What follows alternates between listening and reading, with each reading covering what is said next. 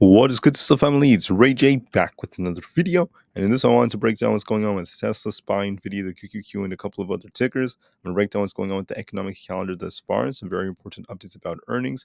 And also what's happening with Elon Musk as there's a very, very big piece of news that came out that's important for him and Tesla. Before I break anything down all this information, before I break down what's happening to Tesla stock, let me just mention a couple of things. Firstly, I am not a financial planner, so take nothing I say as financial advice. And also, if you guys can, please check out the Moomoo link, which is down below and in the description. If you sign up for Moomoo, the link down below, and deposit $100 into the account, you are guaranteed up to five free stocks. If you deposit $1,000, you're guaranteed up to 15 free stocks, and the offer ends very soon. Anyways, now let's break down what's going on with Tesla. Tesla dropped very hard after the news came out that the judge denied Elon Musk's uh, his basically his pay package to get about $56 billion. Uh, so after that happened, Tesla dropped very, very hard, all the way down to 182.5. And since then, as I predicted, I told you that as long as Tesla doesn't break 180, we should see a rebound. And that's what's starting to happen right now. We're also starting to form a bullish triangle. So there's is, there's a potential, you know, upward momentum that could be developing right here. But in order for this to develop, we have to break this resistance. So I'll be talking more about this a little bit later on about how Tesla could be affected by this. Also, the overall market. I'm also going to talk about FOMC, which is going to be later on for today.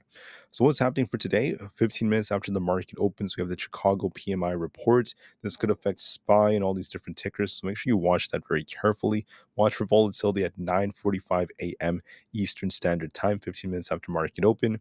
And besides that, there's going to be a couple of hours of just free time where the market's just going to get time to shuffle, not really do much, because then at 2 o'clock p.m. we have the interest rate decision coming out from the Fed. According to the reports, there's a 97.9% chance the Fed is just going to keep rates unchanged. They're not going to raise rates, they're not going to cut rates, they're just going to keep them uh, as they were. Basically, there's a 97 plus percent chance that's going to happen. And then at 2:30 p.m. Eastern Standard Time, we have the Fed press conference coming out. That's when Jerome Powell is going to give his speech. So he's going to either cause the market to pump or dump. We'll be watching this very, very carefully. Now, what else is affecting the markets uh, is going to be earnings, at least more towards like Thursday. For today, earnings are very, very minor. We just had Boeing and just a couple of others. Boeing basically had better earnings than expected, a more narrow loss than expected, but it held off on the 2024 guidance as the 737 MAX 9 crisis is still looming. And you can see right here, their adjusted EPS loss was below what was expected, which is not bad. Sales were above expectations, beating on revenue. So they, they did pretty well for earnings, but they didn't really give us guidance because of the current crisis.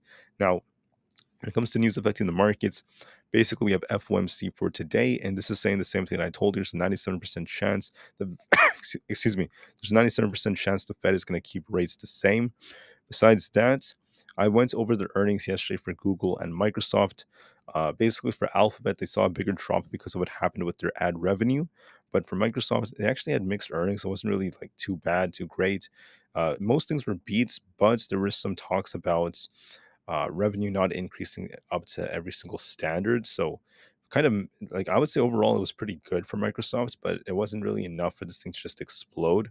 Alphabet, however, saw a move to the downside after what happened to their ad revenue. With Boeing, I just went over this. They had a more narrow loss than expected uh, for the first three months of the year. And going forward, we'll be watching to see how this continues. For UPS, they're cutting 12,000 jobs. And we have the Elon Musk news about the Delaware judge that's also making headlines.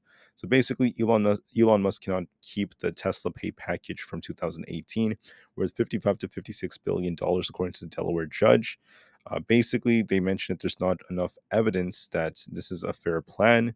They're probably like weighing in Elon Musk's time being spent in Tesla and other factors like that. So that's very, very important. Uh, Elon Musk also uh, you know, he he mentioned that he wants 25% voting control over Tesla. And this is one of the ways he could have acquired about 21% of the stake in Tesla.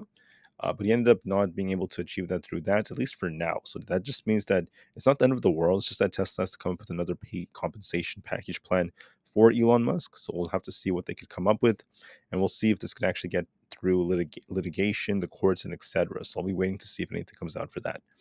For Tesla, what's going on with the share price? Well, we're forming kind of like a bullish triangle right here, but we have this resistance to be watching for around this 187 zone, so 187.5 around that range.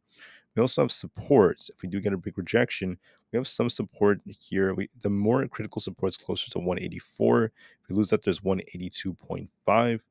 And if we lose that, 180 comes next. So what do I think Tesla's doing? We're forming a nice bullish triangle right here. It's attempting to push up. But we have this tight resistance. When we open, they could come the market could sink a bit and we could grab a little bit liquidity below. So we could see Tesla drop just a little bit, and push back up and continue to form this bullish triangle, this ascending triangle if you want to go that route. And this might actually lead to Tesla pushing higher a little bit later. So it might drop first, then push a little higher later on during the day into the higher 180s, get very close to 190. And I think it's just going to trade sideways after that.